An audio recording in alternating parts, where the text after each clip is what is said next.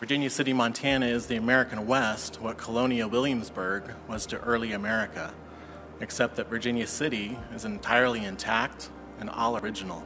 It is rare to have the opportunity to save a building of this significance. Stonewall Hall sits right smack in the middle of town. It's a symbol for governance through the ages for our state and our territory, and it is gravely in need now.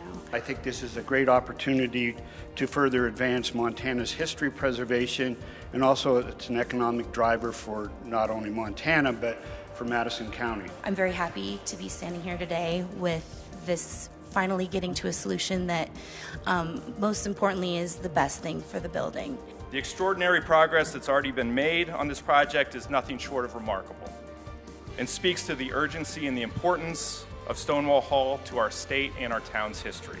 The town of Virginia City is in full support of this effort and urges the land board to approve this transfer so the project can really take off. Let's keep Montana's oldest standing courthouse standing. This is a legacy project. This vote today will ensure that one of the most significant buildings in Montana's history can be saved for the people of tomorrow.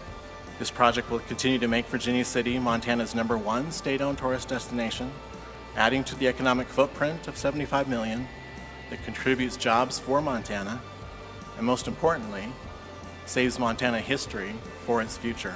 All those in favor? Aye. Aye. Any opposed?